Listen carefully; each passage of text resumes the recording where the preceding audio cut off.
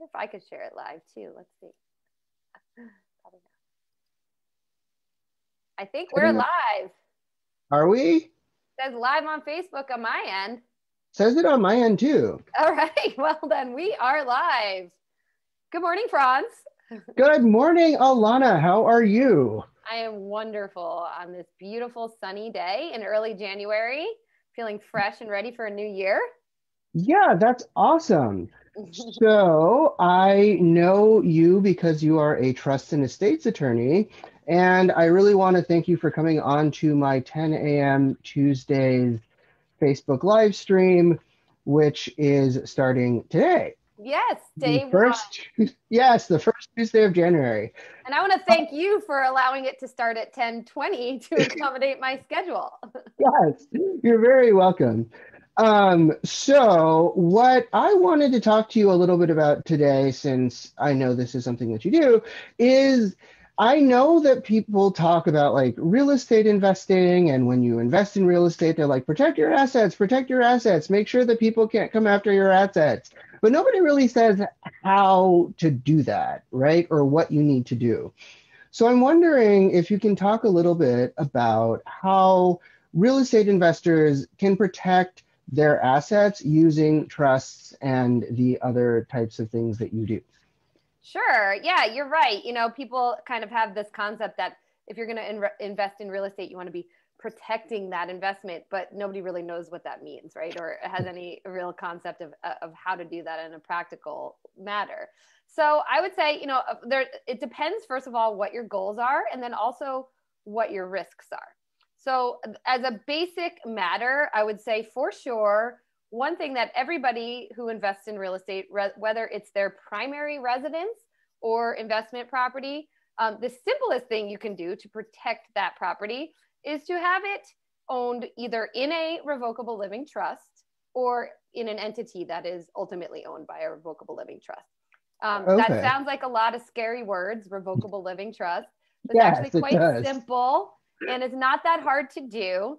And by virtue of uh, ensuring that your real estate is owned in this type of pretty simple trust to create, um, you make sure, you ensure that in the event of your incapacity or in the event of your death, that real estate is not going to get tied up in a 12 to 18 month, very expensive, very drawn out, very um, administratively headache type long court process called probate or the probate court.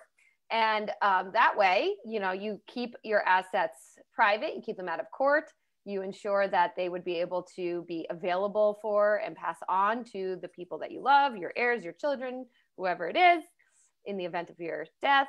And if you are incapacitated, if somebody needs to manage those investments on your behalf, they don't have to go to court to get the right to do that. Just by virtue of doing a little pre planning and owning your, your investments in a trust, you're going to completely bypass the court system and keep your affairs private no matter what. So that's number one.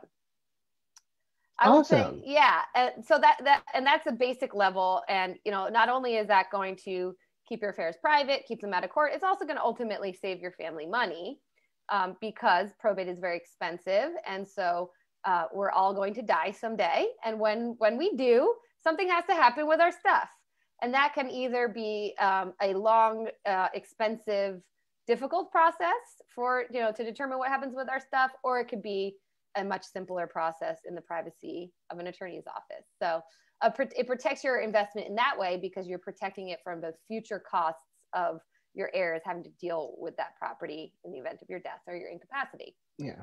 When you say it's really expensive do you have a sense can you actually like put that into numbers I absolutely can. so that the cost of an um, an average probate in California is five percent of the gross estate, um, and that's the gross value of your real estate. So you can imagine, uh, and, and everything else as well. But let's assume all you own is real estate. So if your real estate investments were really uh, only worth a million dollars, which isn't not really that much money, here in California, if you own one home and one one property, one investment property, you're going to definitely be over that amount. Yeah. Uh, five uh, percent of a million dollars is fifty thousand dollars. So, and that doesn't matter if there's if it's encumbered, if there's loans on those properties. That's the amount that the uh, that's the average cost because it's based on statutory set fees that uh, a lot of that is, Mm. is legal fees, but there's other things that are built into that as well to, to come up to that average. So $50,000 essentially, you know, when it's all said and done, just to get that $1 million investment to your family, to the people that you love. And that can really Oh, be okay. avoided. Mhm. That entire cost can be avoided through some pre-planning. Okay.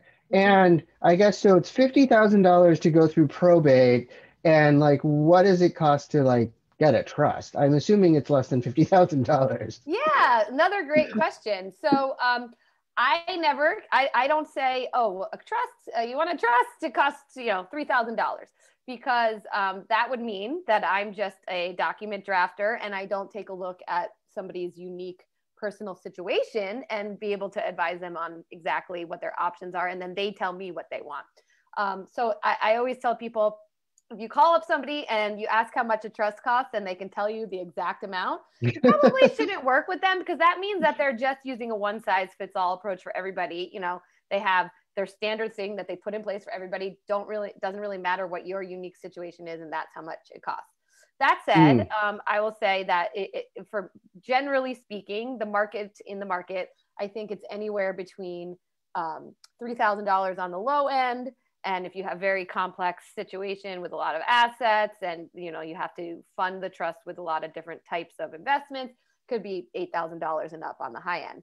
Um, but even on the high end you can imagine that's much much uh, more affordable for from your estate than you know $50000 $50000 would be on in a very basic probate matter actually because that would essentially be one primary home and and a little bit uh, you know of other assets so assuming you actually have a substantial real estate portfolio it would be significantly higher significantly Yeah. higher in fact um, i just saw so prince you know prince everybody knows prince um, yeah. yes sadly prince died you know no estate planning he didn't i, I don't think he assumed he was going to die um, in his 50s sadly and his estate has been in a very complicated probate for you know several years now. Um, his estate is valued at i think something like 200 or 300 million dollars a lot Mhm. of money. Um, Mhm. and you know his heirs his siblings are his heirs are anxiously awaiting for this probate matter to close. There's been all kinds of disputes about it. The irs now i saw the newest thing is they're disputing the total value of his estate for the taxes that need to be paid um, So Mm. the only people that are really actually happy about uh, Prince's uh, estate administration are the lawyers, who at this point have now been paid tens of millions of dollars to battle it out in this probate uh, uh, probate matter. So um, probate very expensive, uh, very avoidable, and it's the default system for people who who don't plan ahead. Yeah, definitely. Yeah, so it sounds like a trust is a great way of protecting your assets for your children or heirs. Um, I think one of the things that I sometimes tell my my real estate clients when they're like, "Oh, I don't know why I need a trust." I'm like, think of the relative that you hate the most and imagine that they get all of your money. And that might be what happens if you go through probate. yeah that's true. I mean I, uh, maybe maybe not depending on what type of relative you know how close they are and whether or not you have other relatives that would inherit first but that's a good point and i think the point is, is that do you want it to be left to a court to decide what happens or do you want to take matters into your own hands? Exactly. yeah and i think it's just part of living a responsible life.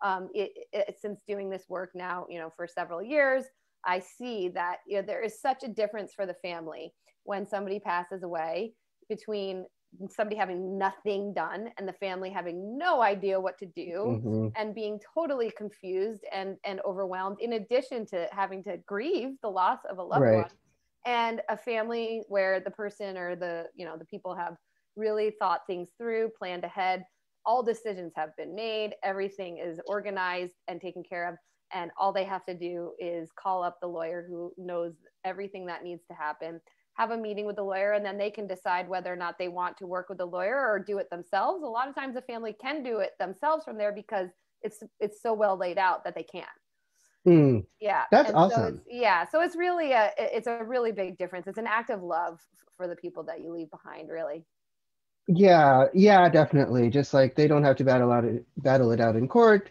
whether they like or are happy with how you divvied everything up. It's clear that you divvied everything up that way, and then you know they don't have to grieve and figure out how to make everything happen. Exactly. Exactly. Um, and so that sounds like a good way of protecting your assets after death. And I know that you talk a lot also about land trusts as a way of protecting your assets while you're alive. So, what exactly is a land trust? How does it work? Why might people want to get a land trust? Yeah, so um, I, I wouldn't say I talk a lot about them, but I definitely, you know, it's a it's a niche area of practice. It's not for everybody. Um, I would say that many people who are sort of savvy in the real estate investment world have heard about this concept of a land trust because it's mm-hmm. talked about in the real estate investment world. Um, more real estate investors know about them than lawyers, to be honest, at least in California, because they're not all that commonly used for whatever reason. They're, mm. They have a mm. very specific purpose. And what they do is, if they're used correctly, they can keep the fact that you own an asset, that you own a property private from the public. Mm.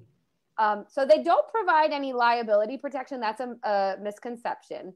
If somebody okay. finds out you own that property, they find out that you're the beneficiary, and there's certainly ways to do so. It's not foolproof. Um, you'll still be liable. There's no protection for claims against you just by virtue of putting your property in a land trust.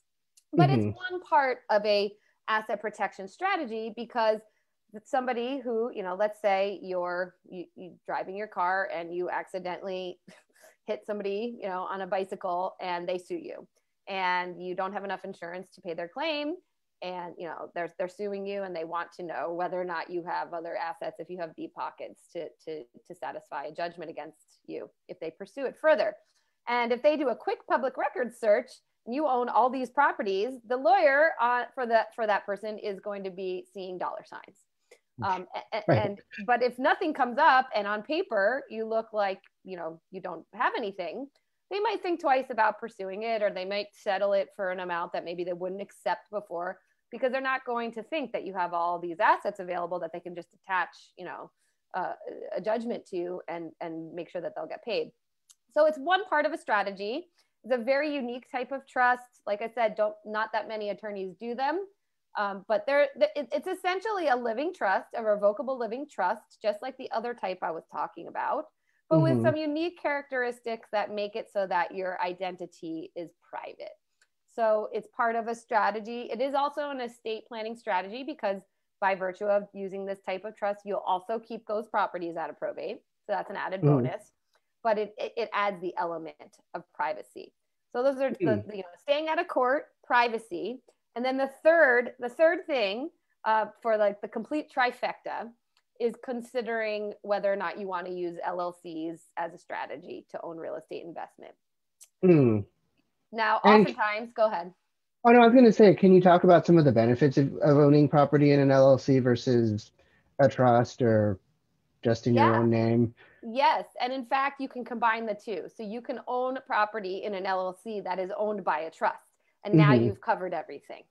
Uh, and, and that really is the complete strategy, but it depends on your risk tolerance and whether or not you want to go that far because there's costs associated with that. If you have right. a land trust, there's going to be annual costs associated with um, having a nominee trustee, service trustee of that trust.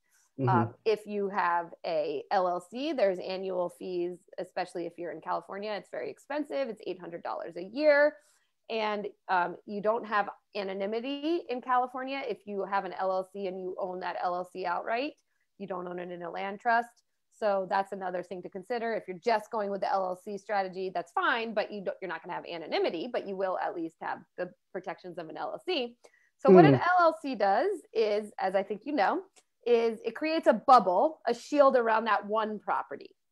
So everything that happens in that property or with respect to that property is in that bubble. And if your tenant sues you, for example, or if it's commercial property, you know, and somebody gets injured or whatever it is, and they mm-hmm. sue you as the owner of that property, the property is at risk, but everything else that you own is not at risk. So it keeps things in the bubble. Now, one thing that it doesn't do in California, at least, that a lot of people are kind of uh, they think it does, and they're pretty bummed when they find out it doesn't. it doesn't protect the property in the LLC from you. So what I mean by that is if you personally in your personal life have a claim against you, something happens, uh, you, that person, your creditor, can actually come after stuff, even if it's owned in an LLC. Mm. Um, in other states, that's not the case. It, we have something called charging. There's charging order protection, and what that means is that in other states that have this protection, you, the, your creditor can sue you and they can get a charging order against you, meaning anything that that LLC pays you has to get paid over to them, but they mm-hmm. can't get to the underlying asset. They can't take your property away from you if it's in that LLC. So if you mm. own property in another state, especially one that has charging order protection, it's really a great idea to own it in an LLC. California, mm. we don't have that benefit, unfortunately.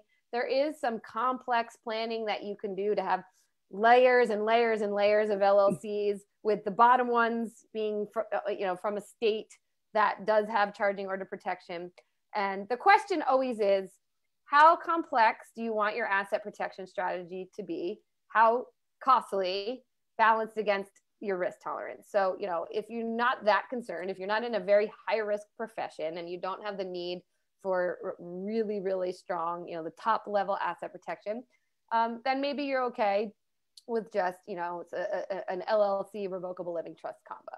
Um, mm-hmm. If you have a very you know you're you're very concerned over asset protection, or you're in a high risk profession, or any of the other reasons why you might want a higher level of asset protection, you're probably going to want to have complex structures that will involve um, maybe land trusts, you know, LLCs owned by LLCs, and you may even be doing irrevocable trust planning, which is a whole nother animal and mm-hmm. that involves uh, the pretty much the best type of asset protection you can get but the problem with that is um, it's irrevocable which means can't be changed which means you don't have control over it anymore so you mm-hmm. have to mm-hmm. balance control versus asset protection and that's it that's sort of the, the various ways i would say the average real estate investor is going to be fine with an llc and revocable trust strategy combined Awesome. Well, that was a lot of really great information. I definitely learned a lot of different things about LLCs and charging order protections, which I was actually not